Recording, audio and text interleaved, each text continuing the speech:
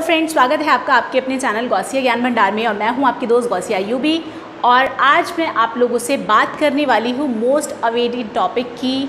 जैसा कि आप लोग बार बार रिक्वेस्ट भी कर रहे हैं और साथ ही साथ मैंने भी आप लोगों को प्रॉमिस किया है कि आ, किस तरीके से हमें नो बोलना चाहिए दूसरों को जबकि हम यूजुअली येस बोल देते हैं। So guys today we are going to learn learning to say no when you usually say yes अक्सर हमारी लाइफ में क्या होता है, हम लोग किसी को ना बोलना चाहते हैं, लेकिन फिर भी हम उसको हाँ बोल देते हैं। तो ये सबसे बड़ी प्रॉब्लम है हर किसी की लाइफ में, और बहुत सारे स्टूडेंट से मेरी बात हुई है तो वो लोग यही कह रहे हैं कि मैम ये बहुत ज़्यादा रिक्वायर्ड है।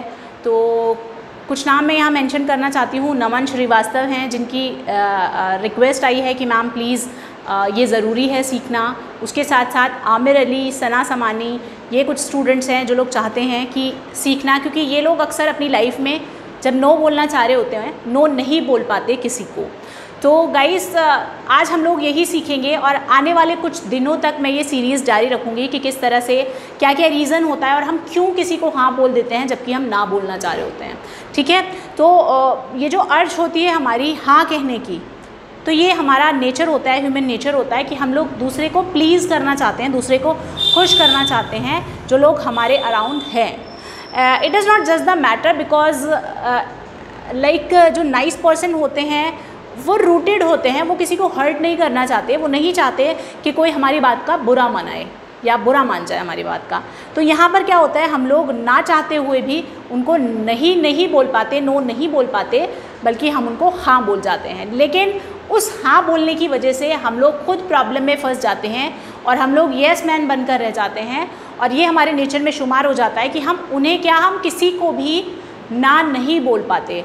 तो आने वाले कुछ दिनों में हम लोग यही सीखेंगे कि किस तरीके से हम लोग लोगों को ना कह सकते हैं और कब हमें ना बोल देना चाहिए, कब हमें ना नहीं बोलना चाहिए। या क्या क्या रीज़न्स हमारे पास ऐसे होते हैं कि हम लोग लोगों को हाँ बोल देते हैं। तो गाइस चैप्टर वाइज ये पूरी सीरीज़ मैं आप लोगों के लिए लेकर आऊँगी। मैंने भी सीखी है। मैं चाहती हूँ कि आप लोग भी सीखें ठीक है? एक मैगज़ीन आपने अगर नाम सुना होगा रीडर डाइजेस्ट एक डाइजेस्ट आता है basically I can't say magazine reader digest आता है। आ, उसमें मैंने ये आ, सीखा है एक्चुअली तो वहाँ पर मैंने पढ़ा है मुझे एक बुक प्रोवाइड की गई थी रीडर डाइजेस्ट के साइड से वहाँ पर ये सारी चीज़ें मैंने सीखी हैं।